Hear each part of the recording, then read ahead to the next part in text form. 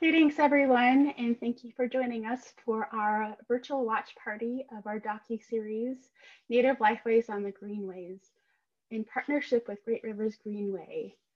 Thank you for every for attending on your lunchtime. We are very excited to bring you this event. Uh, I just wanted to give you a little bit of background on what this series has been. Uh, we focus this partnership and hoping to do an actual in-person walking tour on the greenways. Unfortunately, given uh, the times of precautions and safety with the pandemic, we've decided to bring you a series virtually. And we were able to shoot at three different locations on the greenways and also incorporate our presentations that we've done uh, surrounding the lifeways and the greenways with the ancestral lands of Native people. So we bring you our speakers, Norman Akers of the Osage Nation, who is a cultural advisor, and also Ed Spevak from the Missouri Zoo.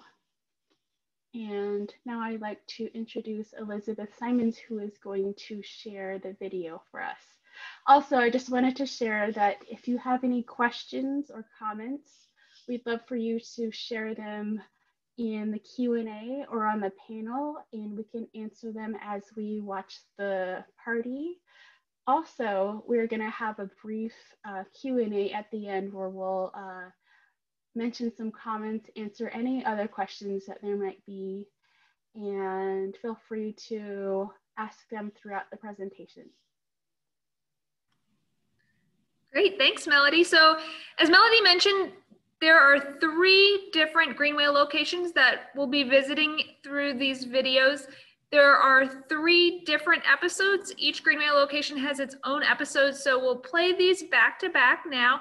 Uh, altogether, it'll be a little over 20 minutes, and then after that, we'll have time for questions and answers. So with that, we'll get the video started.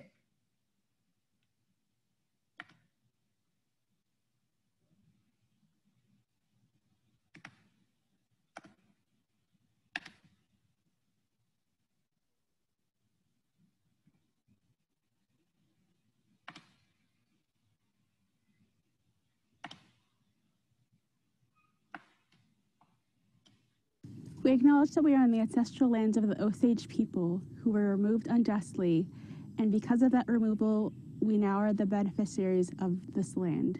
We acknowledge them as we live, work, and study here in Missouri.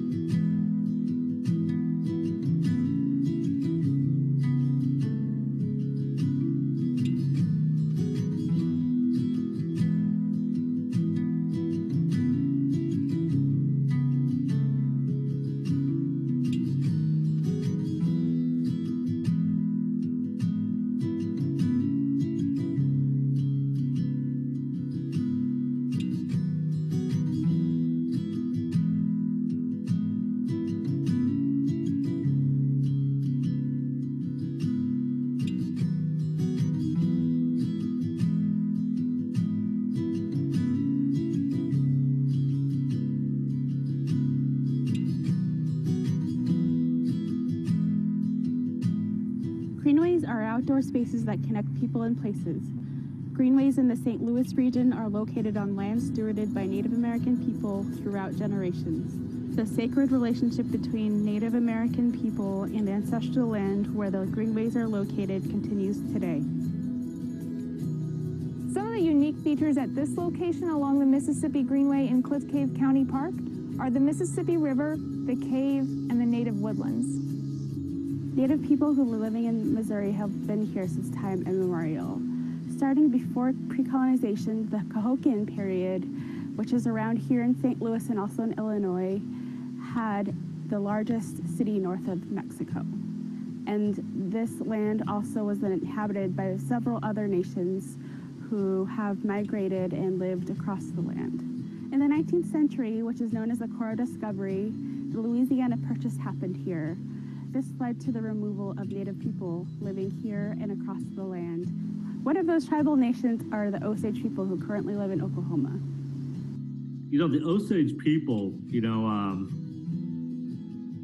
our, our name is called Neokonska, which means children of the middle waters. Um, you know, that's one of the names that we use for, for ourselves. Um, the term Osage, you know, which has kind of an interesting history because when the French encountered the Osage, uh, we also call ourselves Wajaji. And they wrote it down. And when they wrote it down, the English came along and looked at that spelling and they started pronouncing it Osage. But, but we really are called the Wajaji people. The Osage have, have been in Missouri for, for you know, centuries. Um, um, there's even, you know, a belief that we were connected to to the mound builder culture, and, and so so you know we've been in in that region long enough that we said we really call it home. So you know our history really is is set up very much a part and, and connected to to the Missouri area. We stand here in front of a cliff cave. This cave is sacred to the Osage people. It's close enough to the river to fish. It also is far enough from the river so it won't get flooded here at all. Rivers were very much a part of our, our lifeways and our survival. I mean, essentially, water is, is necessary for survival. Those areas where we lived, um, you know, we we hunted, you know, and, and fished. I mean, hunted and, and farmed for survival we uh, we collected plants like like persimmons and pawpaws, uh, and also yonkopet, which is water lily root, and which they made a soup out of. You know, those were you know sort of important food sources, you know, for us. Native American people often have a deep understanding of the land and the plants that grow there. Part of the indigenous ways of knowing is knowing what parts of plants to prepare, when to prepare them, how to prepare them, these plants have relationships with humans, but in addition to being used as gifts for food and medicine, they also have relationships with the native pollinators and other wildlife around them. For about 800 years, Native American people have been stewarding these lands in the St. Louis region. Knowing how to use these plants comes from an ongoing relationship that has been developed over many, many years throughout many, many generations. The native woodlands that are now home to the Mississippi Greenway in Cliff Cave County Park once provided all of the resources needed to survive and thrive to the Native American people who lived in this area. Here are a few examples of the native plants you can see along the greenways and some of the benefits they provide. This is the hackberry tree. We can tell because of the warty knobs and ridges on its bark, and its sweet fruit is a food for squirrels, birds, and raccoons. This tree here with the heart-shaped leaves is a red bud. So as an understory tree, it provides shelter for mammals, birds,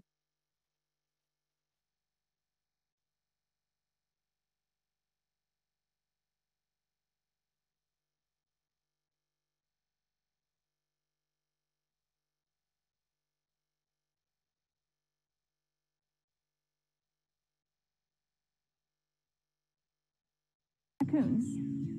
This tree here with the heart-shaped leaves is a red bud.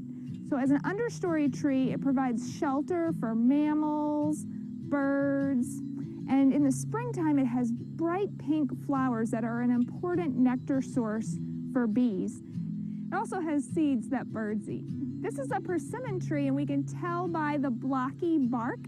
So the fruits, buds, leaves are all eaten by deer, opossum, raccoon, squirrel, turkey, fox, coyote. And the persimmon tree will actually grow in disturbed landscapes, so it plays a very important role in helping to reestablish mature ecosystems.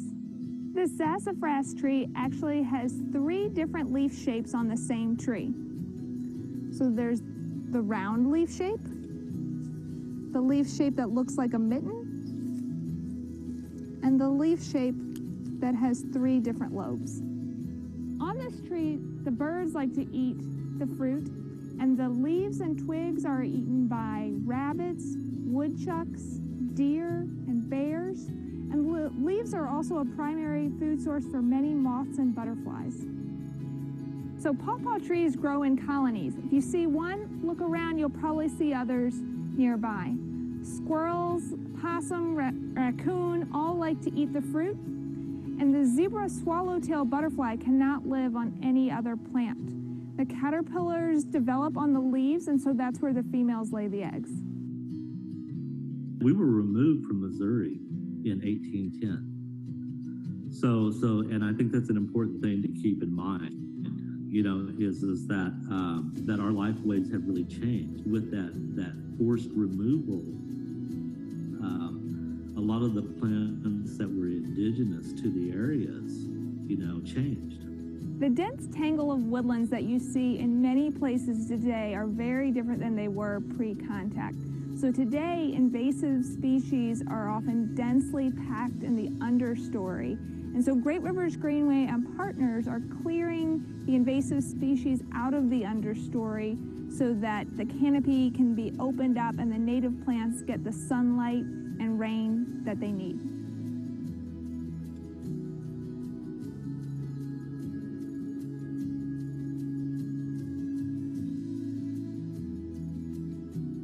Currently here in Missouri, we have about 80,000 Native American people living. And we also have certain organizations like the Alliance for Native Programs and Initiatives and the Kathryn M. Buder Center as resources for people living in Missouri who want to learn about Native history.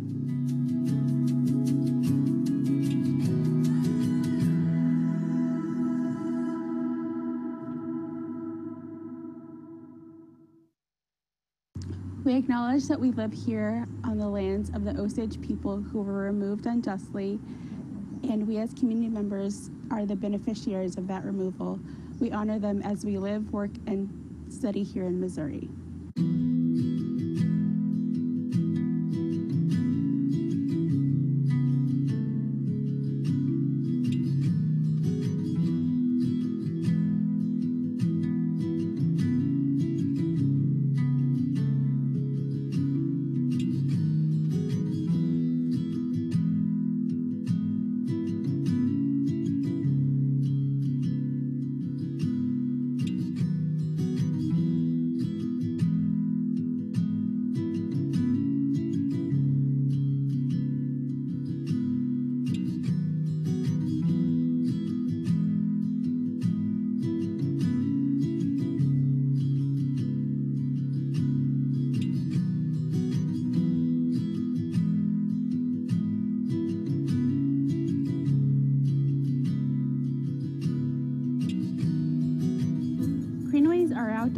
That connect people and places.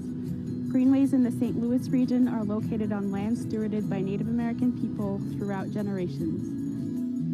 Many of the greenways trace the waterways that form the foundation of our communities here in the St. Louis region. Our waterways connect us all, and our actions impact the water quality in our own communities and downstream. The waterways here in Missouri are very sacred to several tribes who've lived here. We acknowledge that a lot of the ways we live with the land are very sacred to the Native people. Not only do we live from the water, we live with the water. Over the years, people have gathered together on the banks of these creeks to catch fish, eat together, and share stories.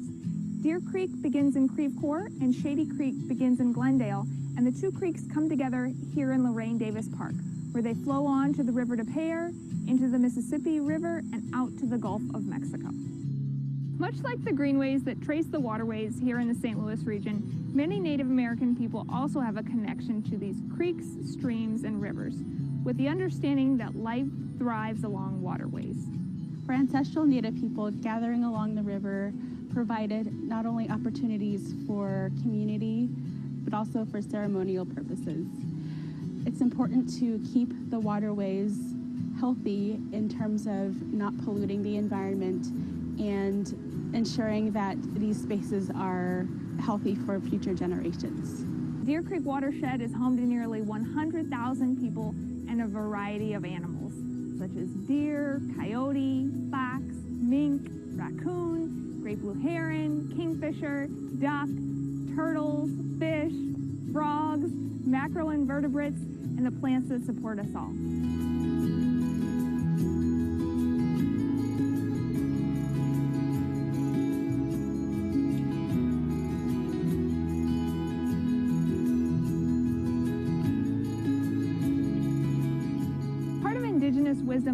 What parts of the plants to prepare, when to prepare them, and how to prepare them to be able to use them for medicine and food.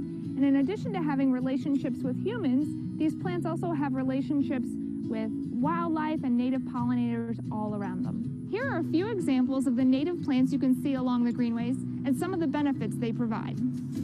The buttonbush always grows near water. Its fragrant flowers are a favorite nectar source for honeybees, and some birds build their nests in this shrub.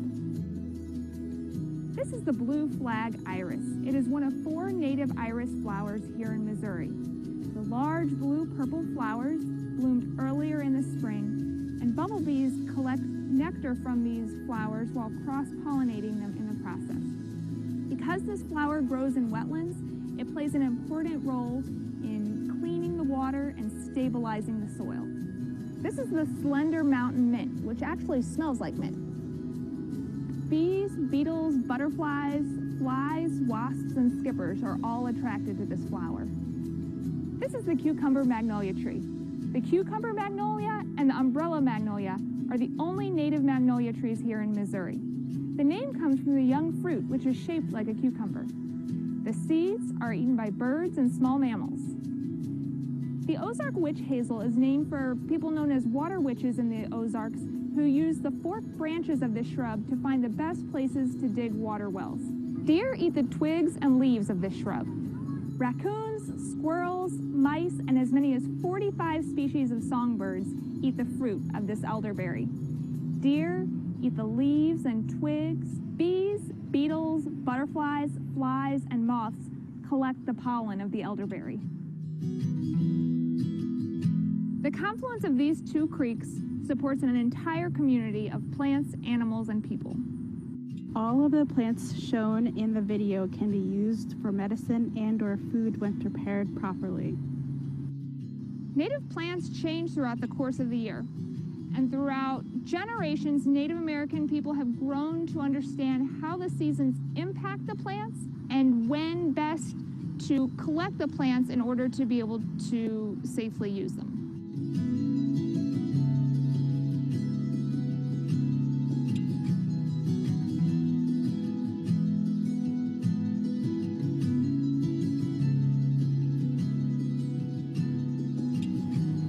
Sacred relationship between Native American people and ancestral land where the greenways are located continues today.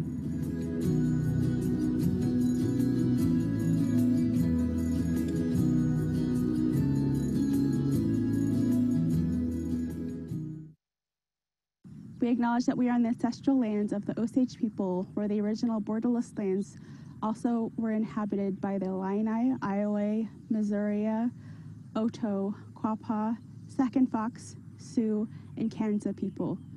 We honor them as we live, work, and play on these lands in Missouri.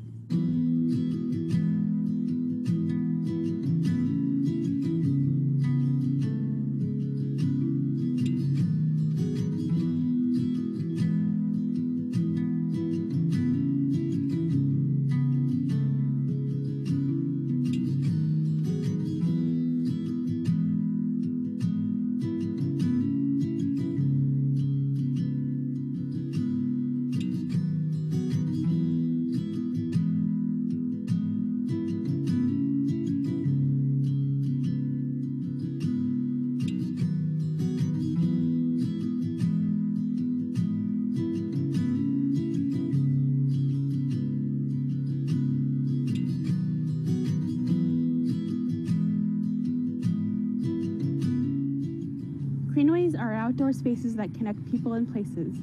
Greenways in the St. Louis region are located on land stewarded by Native American people throughout generations. One of the unique features here along the Dardenne Greenway is the restored prairie. Recently a sod farm, it's now a 34 acre prairie. We also have the natural floodplain for Dardenne Creek. Together, these provide valuable resources for pollinators, birds, and other native wildlife. Prairies of North America are large open grasslands that once covered over 200 million acres, including about half of Missouri.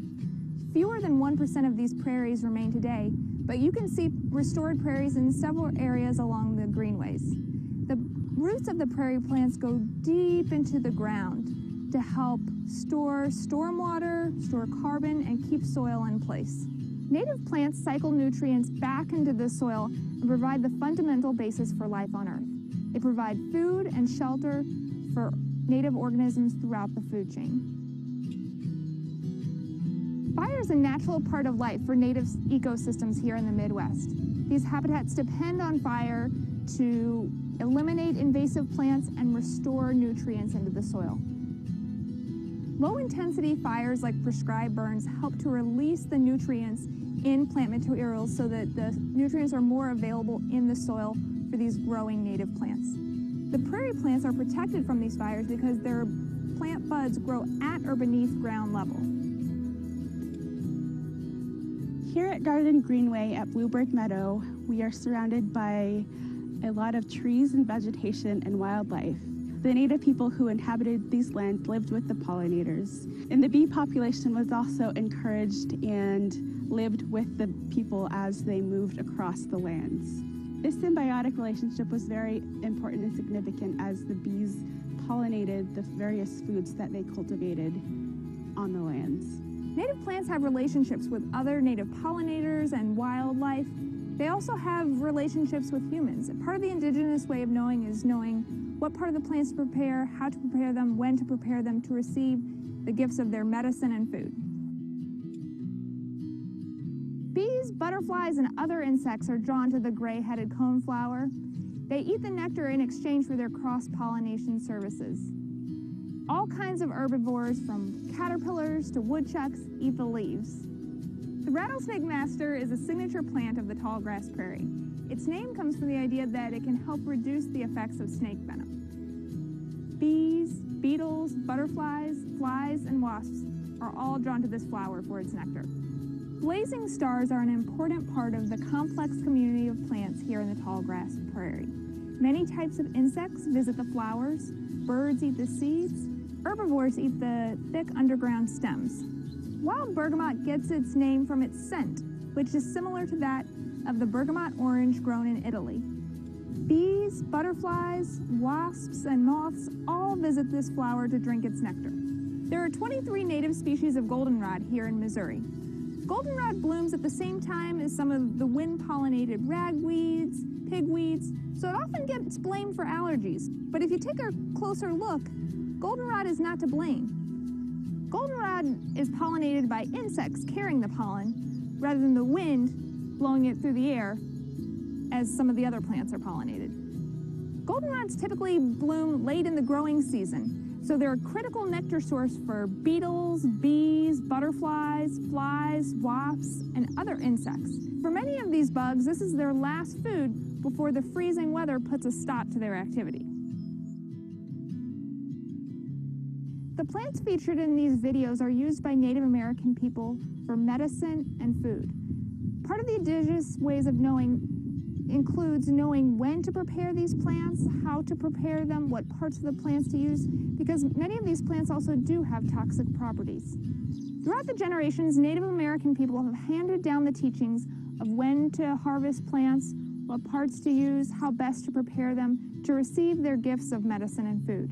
Because when prepared incorrectly or using the wrong parts or at the wrong time, these plants can be quite dangerous.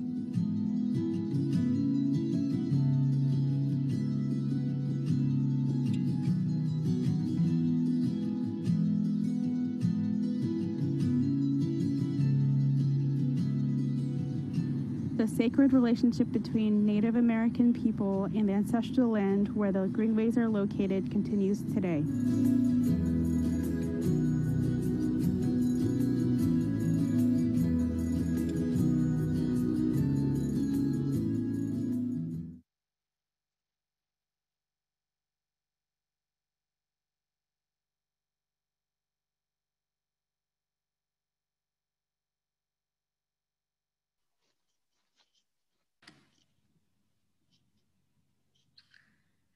Great. So as you saw in the videos, these are all various places on greenways that are open to everyone to go visit and enjoy. Uh, there's over 128 miles of greenways throughout St. Louis City, St. Louis County, and St. Charles County um, that are open to all. Yes, I loved that. That was so great to see. And all the footage of the area, all the way down to the bees and our wonderful speakers and their wealth of knowledge we had was so great to have. Uh, we did have, excuse me, we had one question that came through um, from Ben on Zoom, and he asked, How do you spell the real name of the Osage? Um, I hate to even try here, uh, so we referred him to the Osage Nation website. It's in our chat, and I'll leave that on Facebook as well. Uh, that has not a background in history and how the word is said, as well as Osage words. Um, and also, it has the writing the Osage people have for their words, which is very cool to see. So I encourage you to check out that website for more information. Thanks for that question. That was great. Um, I see another question about uh, from Lori. I saw this was being recorded. Will it be available for others to watch? Lori, yes, it will be. We have it on Facebook Live on the Missouri Humanities Facebook page. Um, I think it will also be available on Great Rivers web page as well and our YouTube channel. So I would say stay tuned. If not, you can view the recording on Missouri Humanities uh, page uh, as soon as this is completed. Thank you for joining us. Uh, we also have a comment from Todd. Great videos and thank you for putting these great resources together.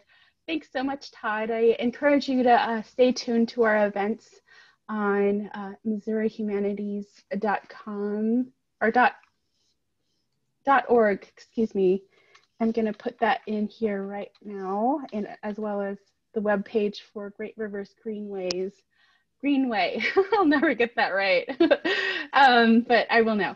I, and thank you so much for joining us. We loved it as well, and I highly encourage you to see and check out these spots of the Greenway. And uh, now you know a little bit more about these areas and the people's ancestral lands who lived here and how uh, they connected to the land.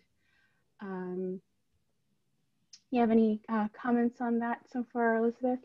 No, I just um, saw another question about when was the prescribed burn um, at the Barathaven area along Dardenne Greenway. So that took place, I forget exactly which, um, actually, you know what? It was in February of this year. So um, shortly before the start of the pandemic, February.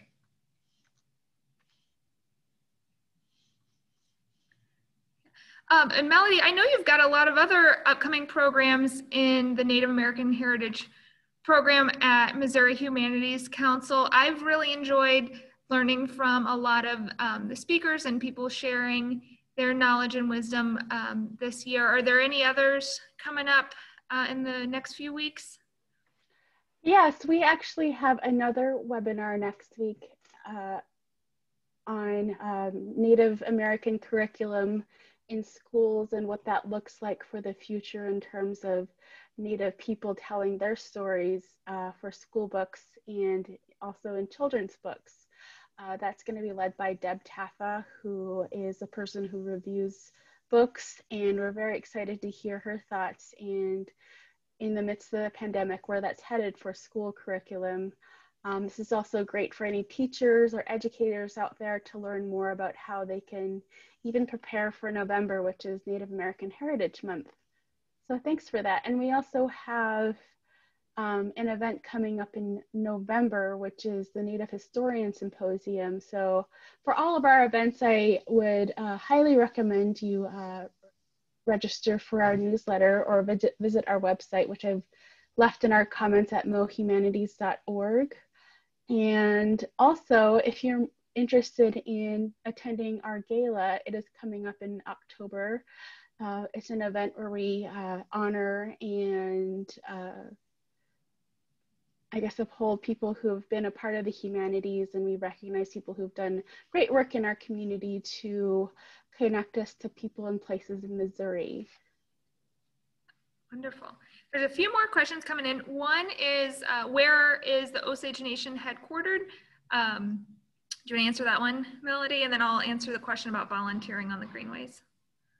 Sure. Uh, ancestrally, the Osage Nation ranges across a wide span of states. I think it's uh, 12 to 13 states, and I can't uh, remember exactly right now, but it's a huge span. I just want to say that first.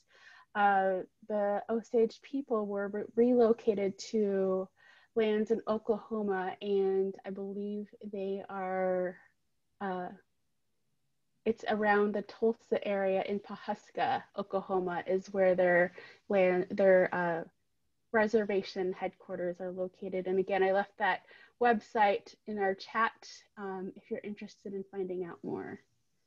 Uh, so I see another question um, for you, Elizabeth. Is there a website to view all the greenways to plan to visit them? Absolutely. So the Great Rivers Greenway website is greatriversgreenway.org, and I'll put it in the chat as well on that website, there's a search feature so you can find out about all the different greenways and the different types of activities and things you can um, check out while you're there. And you can search by, you know, type of area, where in the region it's located to find the greenways that match what you're looking for. There's also a question about volunteering. So on the Great Rivers Greenway website as well, if you click on events, um, you'll see volunteer opportunities listed there. We don't have a whole lot of them uh, at this time because oftentimes volunteering means gathering together large groups of people, whether it's to clean up trash out of um, you know, the, the waterways and lands along the greenways or removing invasive species or planting native plants.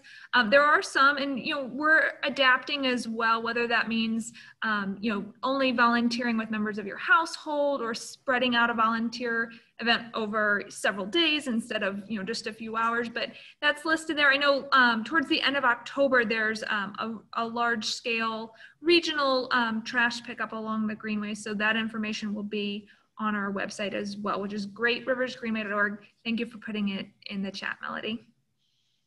Yes of course. Uh, so we have time for a few more comments and questions. I have a comment um, from Millie. She said, This is fabulous, loved it.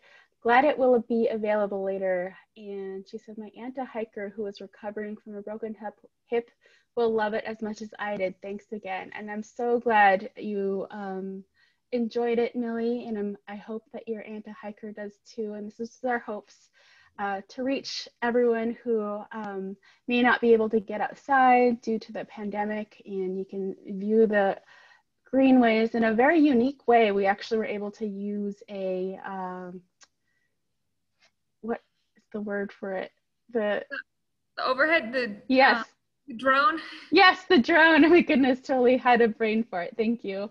We were able to use drone footage to capture an overhead view, which is uh, unique to our program. So that's something we, we would not have been able to do in person. So I'm glad you really enjoyed that. Uh, so we have another question. Um, are there any plans for more prairie reconstructions closer to the city that are on the Greenway property? Yeah, so there are greenways, uh, you know, all around the region, including several in the more urbanized areas of the region, and um, there are, you know, quite a few. Uh, it could be kind of smaller scale pollinator gardens, you know, not the large restored um, prairie that you'll see along Bluebird Meadow, but a number of um, the greenways have native plants, whether it is um, you know the the planting beds along the McKinley Bridge that goes between Missouri and Illinois, or um, you know the plantings at the Mary Meachum Freedom Crossing, which is an underground railroad site along the Mississippi Greenway, or you know the the rain gardens along the River Des Peres Greenway. There's lots and lots of different um, native planting areas along the greenways in the urban areas as well as the less developed. Because I mean, each greenway is really unique in the region. They all uh, take on the characteristics of the communities they connect. Some connect parks, neighborhoods, waterways, business areas. Um, so you know the, the native um, plants connect, uh, reflect our um, you know native heritage as well. There's also the question about um, a, a, plant list um, for the Osage people. I would say, um, you know, check out the Osage Nation website, and um, you know there are, are, people's contact information is listed on the website as well. Um, I would say, you know, the Osage people are um, the best source to talk to about that. for their plant list. Great. So we are going to wrap up uh, now, and I, uh, I just have a few more questions I see about where to find the previous presentations, and uh, they are again on our website at Missouri Humanities, and we're going to get that. Um, excuse me, they're on our Facebook page. If you look at the videos, they're they are there saved for your viewing, and we also have we're going to have them on our websites. So I would encourage you to stay tuned to our websites and sign up for our uh, emails, newsletters. That's a great way to stay connected. Also, I wanted to say that we're going to have a survey going out, and this is a great way to stay connected. I'm going to put all the information that people asked about on that uh, survey letter. So if you could help us out by filling out a quick survey on what you want to see in terms of Native American Heritage Program um, and how you were impacted, that really helps us to shape our audience in what we can give you in terms of our uh, what we deliver for you. And I'm so glad you joined us today. And Elizabeth, do you have anything else you'd like to add for Great Rivers? No, just thank you all for for coming together. I know we really had to pivot this year. We were hoping to, you know, share these experiences with you in person out on the greenways. Um, but the you know the nice thing about videos is that they can be shared with a larger audience. So you know, please feel free to to share this with other people who may want to go visit the greenways.